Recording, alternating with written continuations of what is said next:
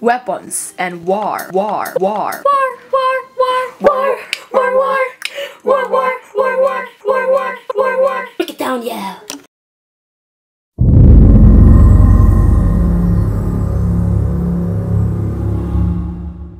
Bladed weapons were an ordinary part of Visayan male costume, at least a dagger or spear. If bound with gold or stuck with gems, these constituted an essential part of a Datu's personal jewelry. We have been conducting a documentary about weapons and how war was in our country, and the HD team had interviewed the most sought after anthropologists and archaeologists all over the world. I am Frances Irah Sayson, and this is Historical Documentaries. First off, swords and daggers.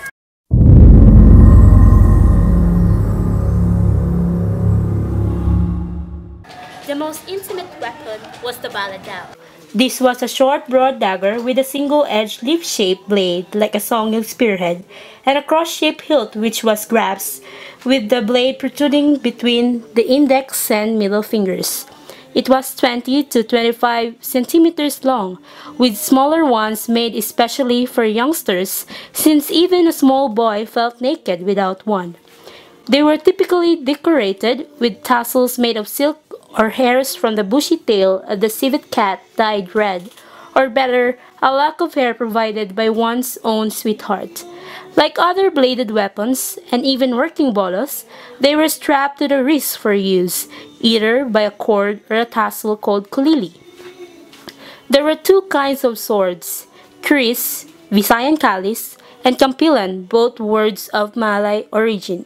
The kris was a long, double-edged blade, either straight or wavy, but characterized by an asymmetrical horn-like flare at the hilt end called kalaw-kalaw, after the kalaw hornbill. The wavy kris was called kiwo-kiwo, and so was an astute, devious man whose movement could not be predicted.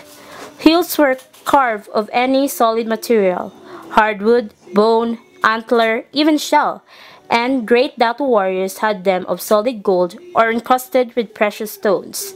Blades were forged from layers of different grades of steel, which gave them a veined or mottled surface, damascened or watered.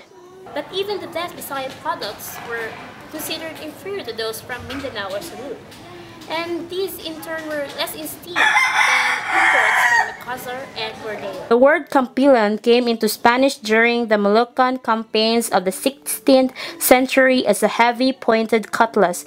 Inappropriately, however, since a cutlass had a curved blade weighted toward the tip for slashing blows, while the Kampilan was straight. Modern ones are two-handed weapons running to 90 centimeters.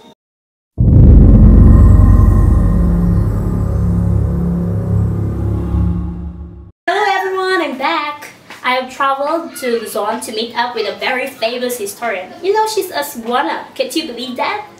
It's very fitting because we are talking about Visayan weapons. So here is Dr. Giselle Franz Fiel. Hey, I'm Dr. Giselle Franz Galleros Fiel. Uy! Ma! Pa! Nanood din sa TV! Kita mo na ko! Ah! I am here to interview you about spears and. Um, what are the different kinds of spears? The first spear was bangkao. Bangkao was the most important Visayan weapon. It was carried both for security and ceremony, and it figured not only in warfare but in religious functions and business transactions. Pamankao was a spear the bridegroom's party gave the bride's grandmother to let down the house ladder. The importance of the Visayan spear is indicated by the special vocabulary attached to it. The shaft, almost 2 meters long, was duldug or ilhi, and the spearhead was hafted into it by a tang, good, and held firm by a ring called pitara if it was metal, bankorong or pikit if rattan. The butt, hele, was strengthened by a pointed sheathing, or tkala, of brass or even gold for 10 or 12 centimeters. Good spears were kept highly polished, and among them the most prestigious was the song. What are missiles before? I mean, how are they used? Missiles before were five spears thrown where it was possible to retrieve them in face-to-face face-to-face combat, for instance, or from ambush. Even when hunting wild boar or any expensive weapon was thrown with a cord attached to prevent the animal from running off with it. Normal for open combat were bamboo spears with fire-hardened wooden points. All these missiles were ordinarily poisoned with bullet, snake venom, preferably from a viper so deadly it was called udto, high noon, because its victims could not expect to survive more than half a day. Bao was buzog, which basically meant full, like a head of rice or a sail swollen with wind. Ujong was arrow, and Tanangan quiver. However, in Panay, the arrow was called pana, presumably from Malay pana, bow.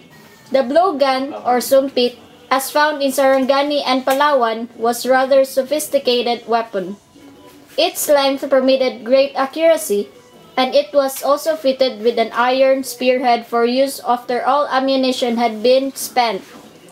That's all I could possibly say about missiles. Thank you.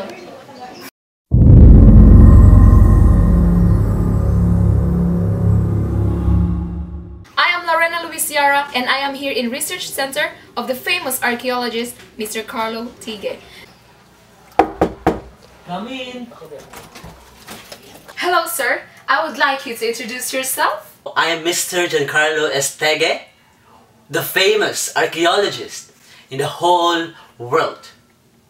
So one of the defensive arms that were used is the barote, the Visayan equivalent for cuirass or chain mail. The barote was woven of thick braided abaca or bark cords, tight enough enough to be waterproof in good ones. A piece similar to borlap is habay-habay, was worn next to the body, under the barote itself. Warriors preferred to fit without them. Pakil and batong-batong, or breastplates made of bamboo, bark, hardwood like ebony, or in Mindanao, carabao horn or elephant hide from Jolo. The shield kalasag was made of a light, corky wood which was very strong so as to enmish any spear or dagger which penetrated it. And it, and it was generally considered sword-proof. It was strengthened and decorated with binding coated with resinous pitch and of sufficient size to give full protection.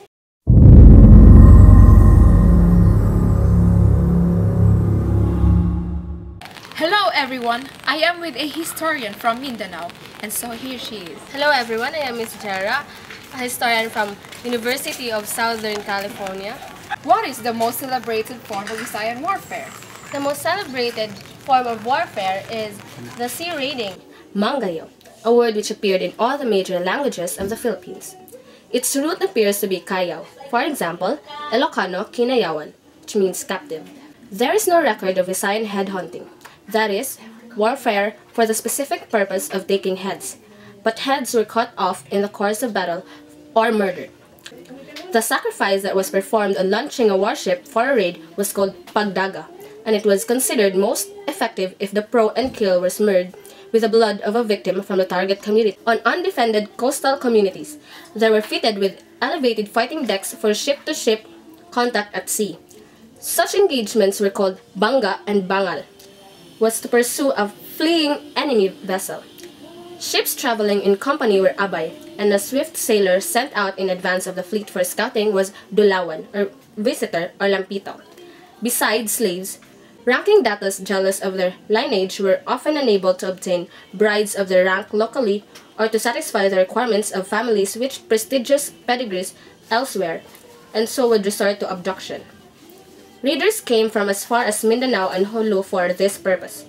Two Bantayan summer chiefs made a cele celebrated attack on Jolo, perhaps to settle bride price and social precedence.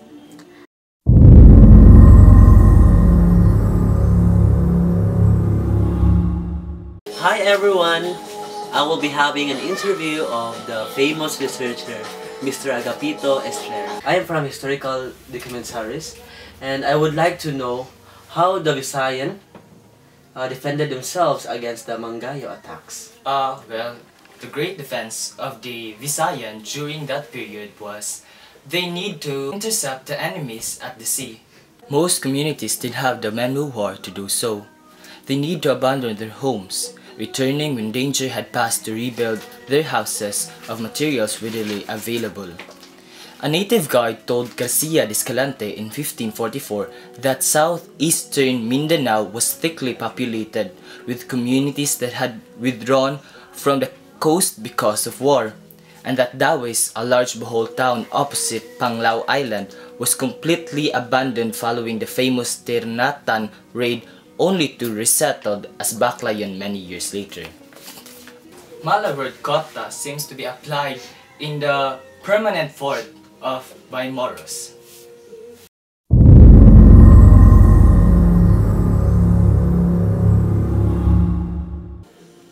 I'm here to interview a famous anthropologist. So I'm Paulo Luis Mangihilat, an anthropologist. So what can I uh, do for you for the historical documentaries? Um, how was the Visayan warfare during the Spanish era? So the, Visayan warfare of the Spanish era started. Visayan life was sufficiently warlike to provide occasion for men to win the tattoos, which caused the Spaniards to call them pintados, or painted. The case of Limasawa is suggestive of this warlikeness. What attracted these Butuan Rajas to this tiny island? What were they hunting? An answer is suggested by its location. It was strategically positioned to control or prey on all shipping from the Pacific coast to the interior trade centers of Butuan and Cebu. During Legazpi's first year in Cebu, he twice joined his reluctant vassal Tupas to avenge attacks by enemy villages on the same island, and twice provided escort against Panay enemies for Datos come to sell rice from that island. Favorite summer targets were Albay and Catanduanes, with forays as far north as Casiguran, and marriage relations with Burias, Masbate, and Mindanao were the result of wife-seeking raids from those places. The men of Eastern Samar, then called Ibabaw, were still proud of their reputation as warriors in Alcina's days. Ibabaw kita! They would tell each other on going into the battle, we are men of Ibabaw. Boholanos, who formerly would not permit any other nation to abuse them. What are the purposes and causes of wars? The purposes and causes of wars during the warfare of the Visayan. Communities had small populations, low levels of productions, and unlimited access to natural resources like sea and forest products. Their datos ability to procure iron or prestigious imports depended on the control of the manpower to exploit those resources. Wars were therefore bought to, con to control people, not territory.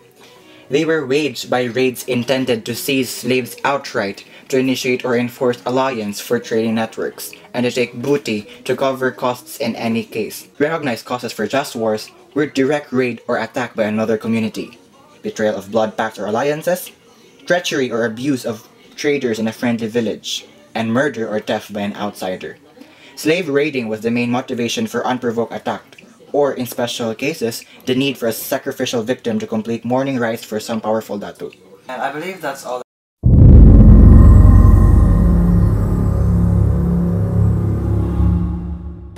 Aside from the warlikeness of the Visayans before, there also existed peace pacts and the existence of the epic heroes.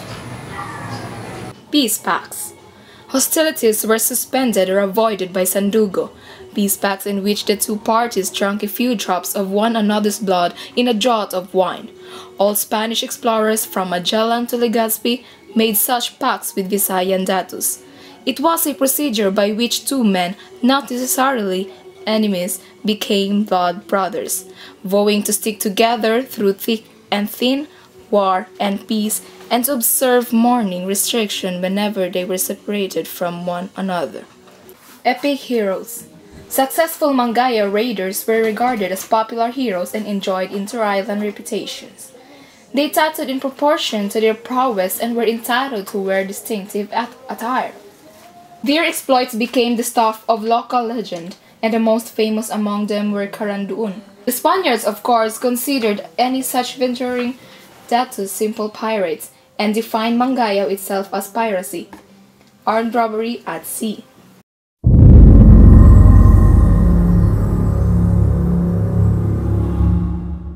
This has been a documentary about weapons and war.